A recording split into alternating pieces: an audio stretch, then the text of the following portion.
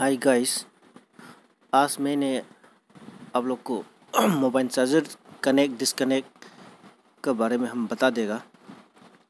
हम हिंदी बोला इतना नहीं जानता है, फिर भी आप लोग को ये इन्फॉर्मेशन बताने के लिए हम कोशिश कर रहा हूँ।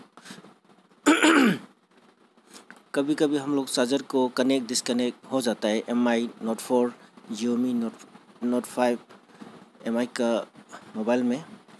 ये ये समय में हम लोग कुछ नहीं करना है, बहुत इजी है, ये सिंपल है। तो फ़र्स्ट में हम लोग सेटिंग को जाएगा।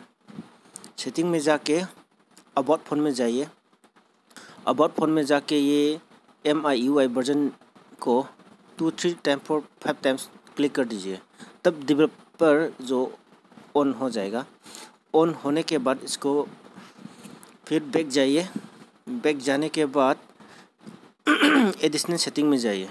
एडिशनल सेटिंग में जाके डेवलपर में डेवलपर ऑप्शन में जाइए। उसके बाद डेवलपर ऑप्शन को ऑन कर दीजिए। उसके बाद हम लोग ये यू एस को फिर ऑन कर दीजिए। ऑन करने के बाद एवरीथिंग ठीक हो जाएगा।